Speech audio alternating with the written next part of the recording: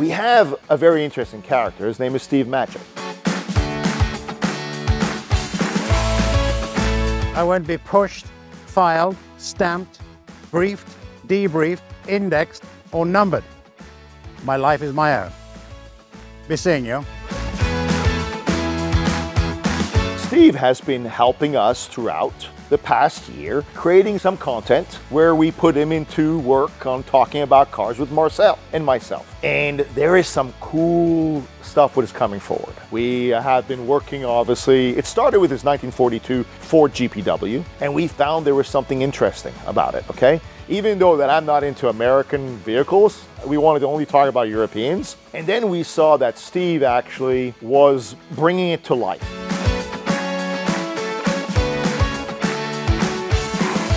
Hey, by the way, Steve, Yes. no, no. how was our dinner last night? Our dinner last night at the Capital Grille was outstanding. But when we decided to go to the Capital Grille, Yes. we all said independently, we've never had a bad meal at the Capital Grille. Correct. We did. And it was another wonderful success.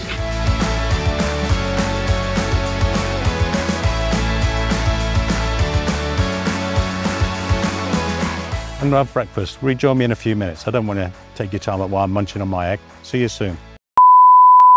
So when you take a nerd, okay, what I call the nerd, my nerd, I mean, it's the Octon boy, it's Marcel Diaz. The reason why I say that is because, and you walk into an auction house, okay, and then you go and look at cars, and I have to tell you, I go there, from now on, I go there first, and I have Marcel come afterwards, because he ruins the experience. And instead of looking at the car, the first thing he does, he knees down. And I say, oh, maybe he's just bowing down to it and, and being, I don't know, all grateful. No, this idiot is looking at the tires. He says they're doing this wrong, they put the wrong set of tires on it, or they're too old, and he just ruins the whole experience. So when you're coming down to how do you put a Steve Matchett and a Marcel, and they both try and talk together about a project, it's, you wonder. But apparently it works. It's pretty good.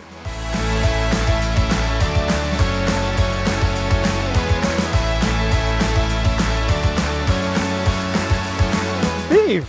Marcel! It was you all the time. Wait a second. Uh, why, why, why did you resign?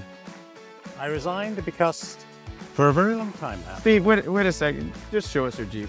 Oh. I I don't, we don't care.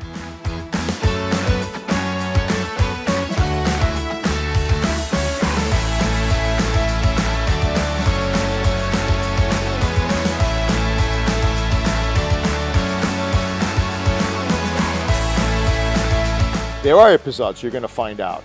And there maybe has been some flashes we put through social media and YouTube that you have seen them come together and do their little weird stuff. It turns out to be comical and funny. And actually, what we're looking for, we want it to be comical. In my 30,000 square foot heated and climate controlled Ferrari, Porsche, complete storage facility. He's fuck. Cyrus, don't be rude. That oil, Marcel, is so rare and precious, we can't afford to, to put it in the past.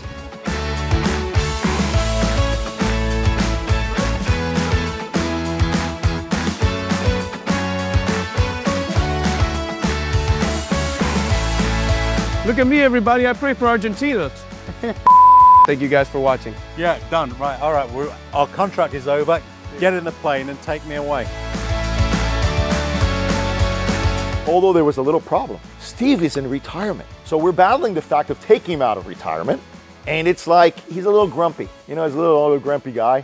And we have to get him out of his retirement. So there's a lot coming up. So in the months to come, we have we're working on a few episodes that we're actually trying to create some pilots and see where it goes from there. So stay tuned and there's more to come.